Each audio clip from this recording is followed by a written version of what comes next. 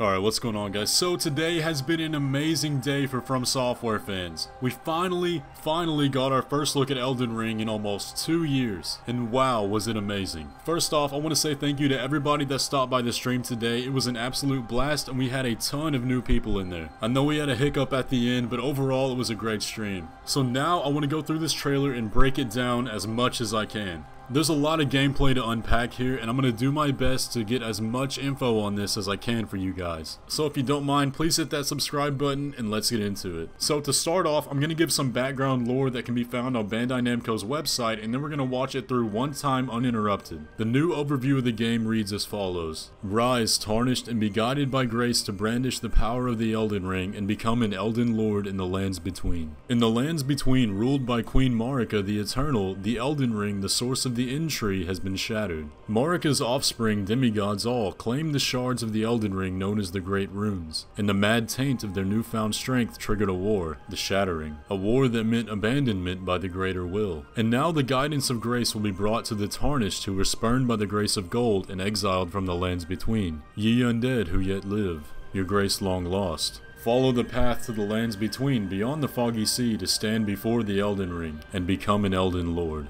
So, with this newfound context, take a look at the trailer.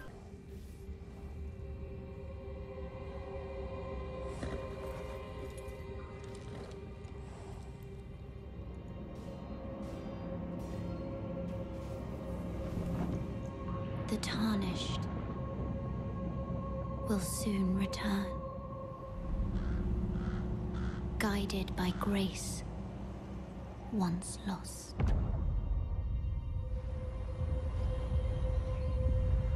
The Golden Order is broken to its core.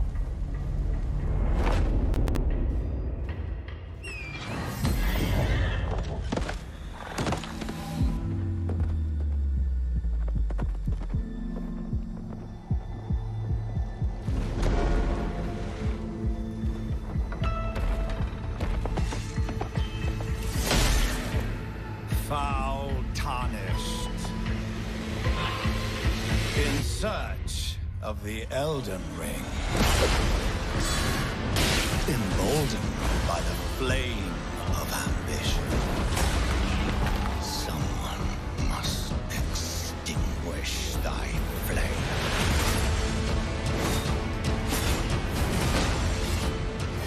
They will fight.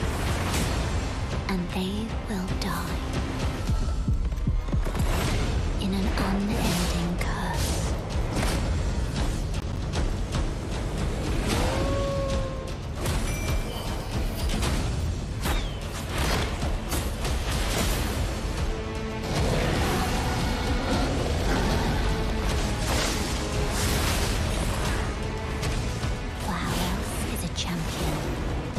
lord to be born?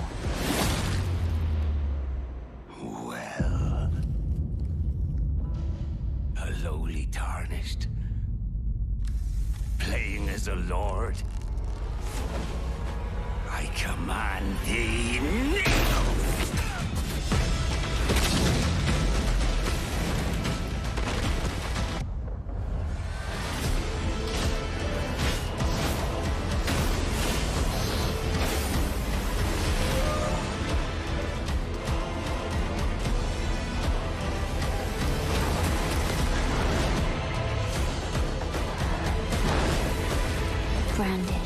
Elden Ring.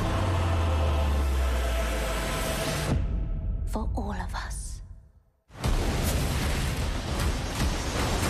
Okay, there's quite a bit to unpack in that. The trailer opens up by introducing us to our new maiden and our new mount, and she begins by telling us that the Golden Order has been destroyed. And from the overview we learn that our character is known as the Tarnished, and it's our goal to seek out the Elden Ring and become an Elden Lord in the lands between. We also learn that this giant tree that we keep seeing over and over again is known as the Erdtree, and the Elden Ring is the source of its power. So it can be deduced that the area we're playing in is known as the Lands Between, a change from the Investors trailer which referred to it as the Rift Lands. Now you'll notice right off the bat that the inhabitants of this place don't seem to be normal. They seem to be undead. They're walking with a slouched posture, their skins rotted, and they look decrepit. You'll also notice that the areas closest to the tree seem to be all broken apart and malformed. And we know that the Elden Ring is the source of its power, and the Elden Ring has been shattered. So it suggests to me that the purpose of the tree is to hold matter together, and without the Elden Ring formed, matter is no longer formed in its proper way, which would explain why we see all these eldritch abominations and matter that should not be alive moving in a living fashion. The next thing I want to dive into is this character right here. I believe he's going to be our main nemesis in the game, but you might remember him in a different way. This guy seems to be the same character we saw in the original trailer for Elden Ring with the many arms. However, back then he looks much more frail and skinny. Bandai Namco also released this picture of concept art that I believe to be the same person. However, I can't confirm that since the ring doesn't look too gold on his head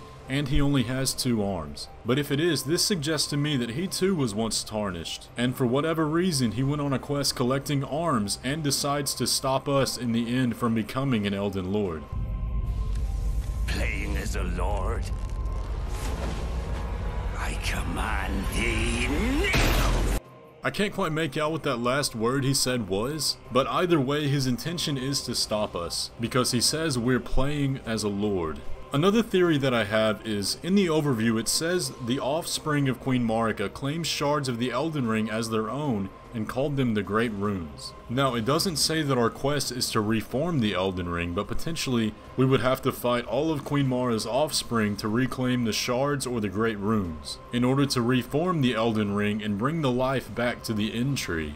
Now we don't know the effects of the Great Runes, but we see many of these multi-armed creatures throughout the trailer that our character is fighting. And perhaps these could be the offspring of Queen Marika, all of the multi-armed creatures that we see, since they all seem to look pretty similar and could be considered bosses. Now I don't have anything to back that up, but it's just a hunch I kept coming back to. So let's take a look at Queen Marika herself. I believe this is her in this picture, as she's sitting beneath a portrait of a king with a guard next to her. You'll notice that the king also has flowing white hair which can be seen on all of the multi-armed creatures throughout the trailer. Now the room in which she sits does not seem like a queen's throne room. It looks to be just an average room for a common dweller. The chair that she sits in is also a common chair that would be anywhere else. So this may not be the queen, but she is beneath a portrait of the king and with a very powerful looking guard. Now we see a lot of other really cool bosses and enemies throughout the trailer, but I don't want to get quite too deep into those yet. I'll save that for another video, along with some of the core gameplay mechanics that I want to cover. But take a look at this wolf creature right here. This is probably the most direct Guts reference I've seen in Dark Souls yet. But speaking of Berserk references, why don't we take a look at the Erdtree? This tree is also very reminiscent of the one in Berserk. A tree made of light that when cut released the boundary between reality and the astral world. It ushered in eldritch creatures to the real world and distorted matter. So I believe the effect of the Erdtree in Elden Ring is going to be very similar. But that's all I want to cover in today's video. This is going to be only part one of the trailer breakdown. So guys, be sure you subscribe so you don't miss part 2 which will be dropping tomorrow.